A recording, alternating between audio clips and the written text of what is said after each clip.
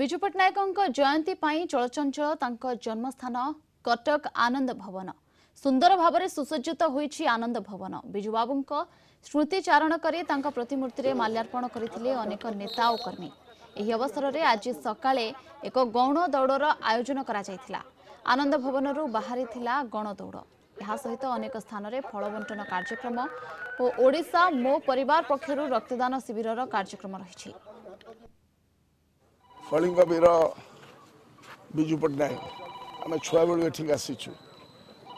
ଏବଂ ଆମେ ଉତ୍ଫୁଲ୍ଲିତ ହେଇଛୁ ଏବଂ ଉତ୍ସାହିତ ହେଇଛୁ ରାଜନୀତି ଭିତରକୁ ଆସି ଦେଶ ସେବା କରିବା ପାଇଁ ହାତ ଧରିକି ସେ ବହୁ ଯୁବକମାନଙ୍କୁ ଆଣିଛନ୍ତି ରାଜନୀତି ଭିତରକୁ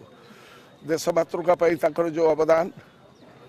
ଏବଂ ସ୍ୱାଧୀନତା ସଂଗ୍ରାମ ଇଣ୍ଡୋନେସିଆର ଏବଂ ରୁଷିଆ ଦେଶର କାର୍ଯ୍ୟକ୍ରମ ଏବଂ କାଶ୍ମୀରକୁ ଭାରତ ସହିତ ଯୋଡ଼ିବା ପାଇଁ ତାଙ୍କର ଯେଉଁ ଅଦମ୍ୟ ସାହସ ତାଙ୍କର ଯେଉଁ କୀର୍ତ୍ତିମାନ ରହିଛି ତାକୁ ଲୋକଲୋଚନକୁ ଆଣିବା ପାଇଁ ଆମର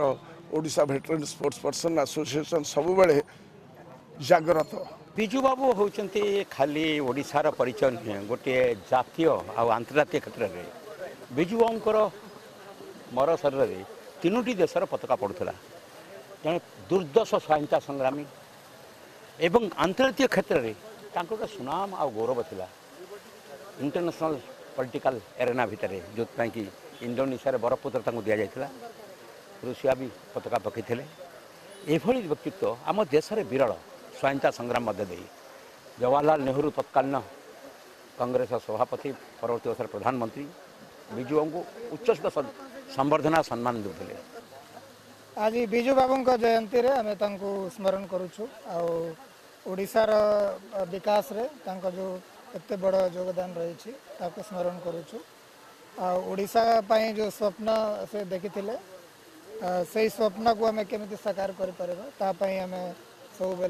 चेष्टा करुचु आज ओडार आग को जापार ओडार लोक मैंने केमी ଗୋଟେ ଡେଭଲପଡ୍ ହୋଇପାରିବ ତା ପାଇଁ ସେ ଯାହା ବି ସ୍କିମ୍ ଆରମ୍ଭ କରିଥିଲେ ଯାହା ବି ପଦକ୍ଷେପ ନେଇଥିଲେ ତାହାକୁ ଆମେ ଆଗକୁ ନେଇଯାଉଛୁ